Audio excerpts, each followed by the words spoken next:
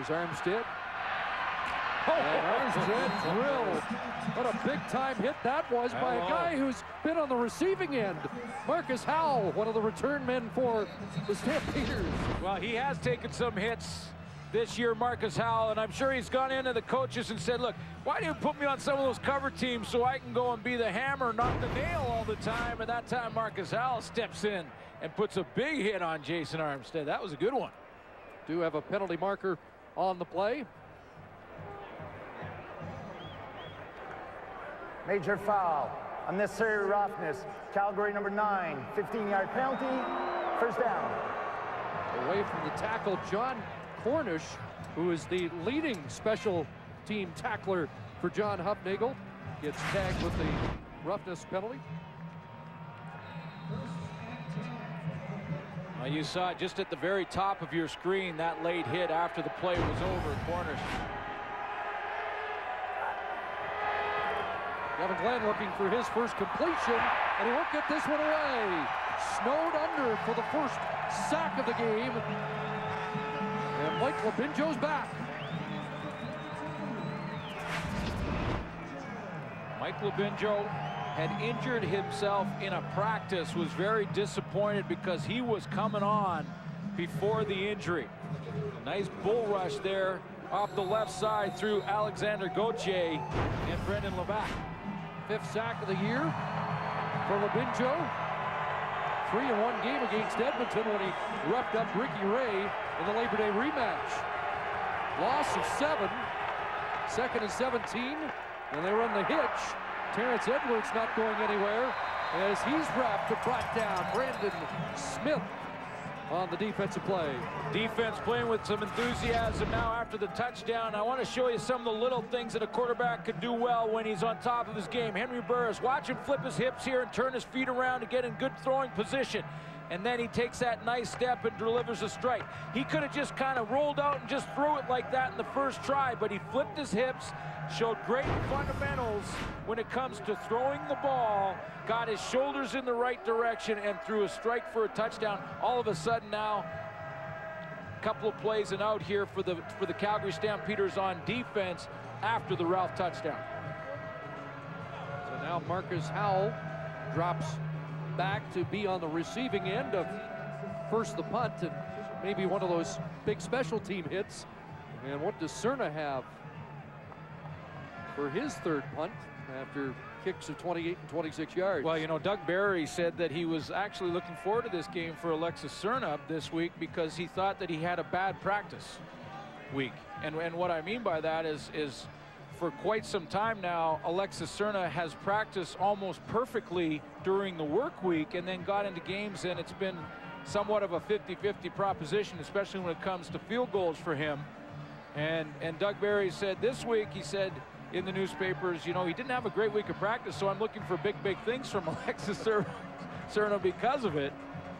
But he's got to start. Yeah, the reverse psychology hasn't worked yet, but Not he yet. hasn't hasn't tried a field goal yet. No. And they weren't trying to ice Alexis Serna on this punt. There was some issue at the Calgary bench, and Andre Proulx was over discussing it. There he There's goes. a nice punt by Serna. Here's Howell trying to get outside, and he'll be brought down. Greg Bierman takes him down. Well, we've already seen a glimpse of it. John Hufnagel really likes the way his offense is gelling here in the second half of the season. Henry Burris is doing an excellent job of um, throwing the football, managing the game, and also uh, utilizing his other receivers. Uh, Nick Lewis is having an outstanding year. Uh, um, Cope is having an, uh, a better second part of the season than he did in the first half. So uh, some great things are happening on the offense. And on that last touchdown drive, six plays, 48 yards. By the way, it was a 51-yard punt by Alexis Serna. There's Joffrey Reynolds on the ground again, who entered today's game 70 yards up in the rushing derby over Wes Cates, who will be back in action, we understand, for Saskatchewan tomorrow. Averages just shy of 80 yards a game versus the Winnipeg Blue Bombers in nine games in his career, an average of about 5.2 per carry. This is also a tough front seven to run against with Zeke Moreno in the middle and that front four with Doug Brown and Jerome Haywood in the middle of it. Three for Reynolds, second and seven. five receivers out and wide open Ryan Thelwell. And he has a first down grab at the 39. Just one catch in each of his last two starts. Heard John Hufnagel talk about his quarterback and how composed he's been. A little bit of pressure on him there. Didn't bother him at all. He threw a nice strikeout to Ryan Thelwell to the wide field. You can see the composure and again the good fundamentals from Burris as he steps into that throw, has that lead shoulder pointing in the right direction. Another first down for Calgary. 11 for Thelwell, a first down, and now Burris looks the other way, and there's an incompletion as he and Thelwell not on the same page on that throw.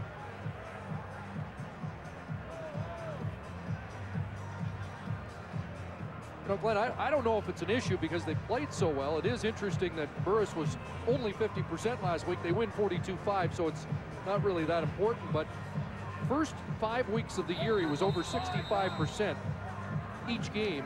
He has only been over 65% once since. So does that mean he's gone vertical more? He's gone vertical more, and, and you know what I like about his game? He, he didn't have the great percentage last week. He didn't throw an interception, though, and three touchdowns. Parker down. And I think we'll see what this penalty is. But uh, you're hearing a lot of people say offside. Let's find out who it's going to be against Calgary. And that will negate the Nick Lewis catch. And put them in second and, and real long, second and 15. Offside. Calgary number 85. Five-yard penalty. Still second down.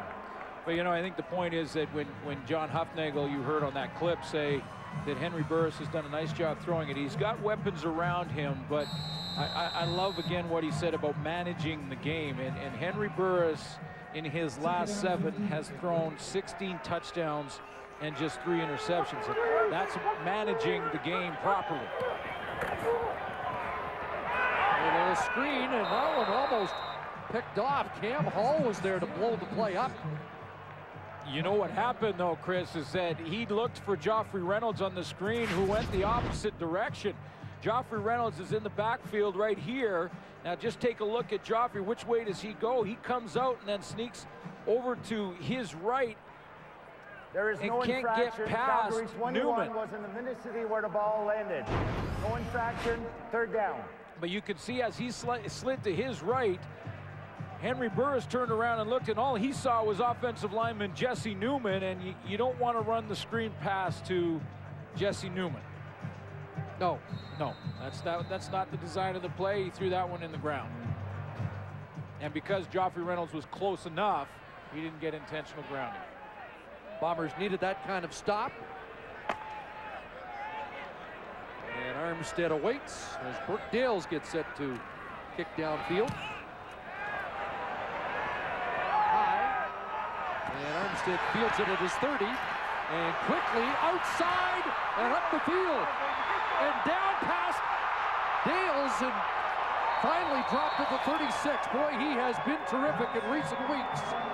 As Jason Armstead has certainly turned up the octane in the return game for the Bombers. It starts by Armstead having to get outside. He starts right there. Now, once he bounces outside, gets one block at the top of your screen. Now it's one-on-one Armstead, the great returner against the punter, Burke Dales, and that's a mismatch, as you can see. And a touchdown, a, a touchdown saving tackle. Burke Dales is out there just collecting his gear. Olay. Yeah. 46-yard punt, 39 on the return. And now off the right side, Joe Smith dragging tacklers, including the middle linebacker, Salim Rashid.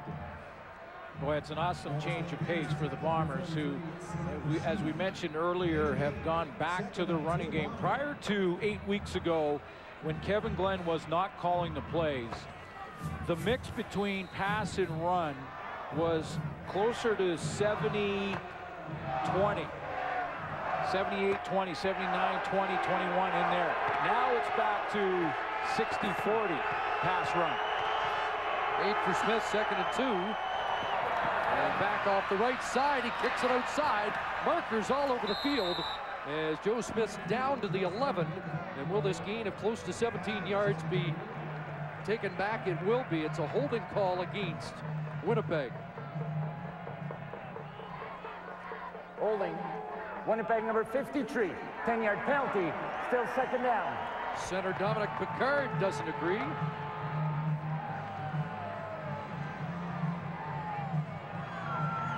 See if he, he's, it's, it's interesting that a center right there, Dominic Picard, not often is it the center that gets called on the holding. Actually, you could see how he Oh. missed Eddie Freeman and then grabbed him from behind by the shirt. Yes, the jersey pull, incriminating evidence. Second and 12. And the screen is snuffed on a great play by Jawan Armour. Collaring Joe Smith for a loss of two. Big play by Jawan Armour, who's who's been Mr. Versatility when it comes to the linebacking core for the Calgary Stampeders. He's been able to play the middle, both weak or strong side linebacker. That time he lined up on the opposite side of the formation, but realized his man in the man-to-man defense was Joe Smith, and now he's got him eaten out of the palm of his hand. Is that what that meant? I'm not sure of that translation, but I, I do know that this makes Alexis Serna's first try of the game a long one. Jamie Stoddard will put it down at the 48. Serna good on just two of his last eight. This would match a season best. And after a shaky punt start, he drills this one through. All right. Just like Doug Berry said, bad practice week, better in games. Well, and, it was about field goals, not punting. So that's maybe the old reverse psychology is working. He didn't have a great week of practice in the field goal department, and he thought, I, I'm, I'm looking forward to seeing him in the game now because this may change things for him, and that's a great one to get some confidence. You know, I also like the fact that after the first punt, uh, a lot of players went down